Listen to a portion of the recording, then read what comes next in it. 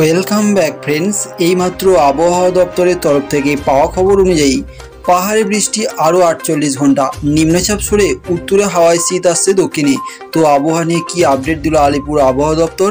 বিস্তারিত সমস্ত কিছু জানতে হলে চ্যানেল বা ভিডিওর নিচে থাকা লাল রঙের সাবস্ক্রাইব বটনে প্রেস করার পর ভিডিওটিকে জনস্বার্থে প্রচুর পরিমাণে শেয়ার করবেন।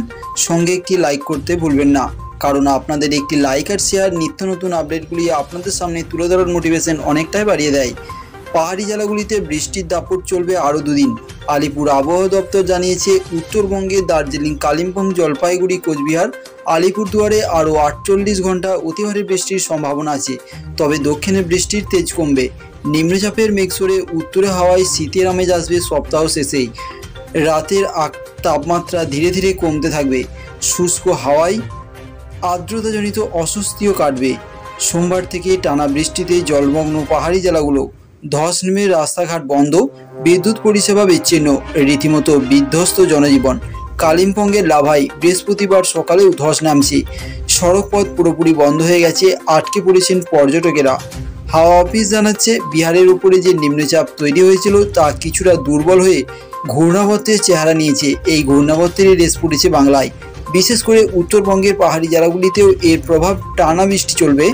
দার্জিলিং, কালিম্পং ও আলিপুরদুয়ারে আজও ভারী থেকে অতি ভারী বৃষ্টির পূর্বাভাস দিয়েছে আবহাওয়া দপ্তর। অন্যদিকে মালদা, দুই দিনাজপুরের কিছু জায়গায় ভারী বৃষ্টির সম্ভাবনা আছে।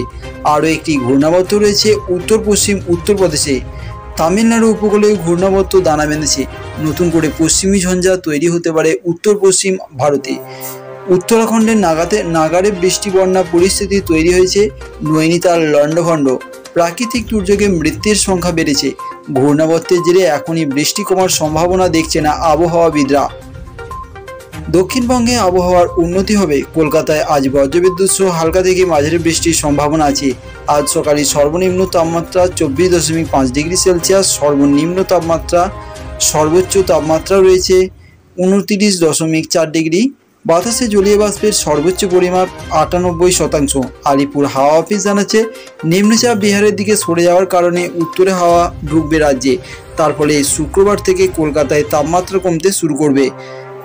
তাপমাত্রা দুই থেকে তিন ডিগ্রি সেলসিয়াস তাপমাত্রা কমবে বলে মনে করা হচ্ছে। কলকাতাতেও রাতের তাপমাত্রা এক থেকে দুই ডিগ্রি কমার সম্ভাবনা আছে। হাওয়া অফিস জানাচ্ছে, এতদিন অনেকটাই আরামদায়ক হবে বলে আশা করা যাচ্ছে। শীত শীত ভাব থাকবে। তো এই ছিল ওয়েদার রিলেটেড লেটেস্ট আপডেট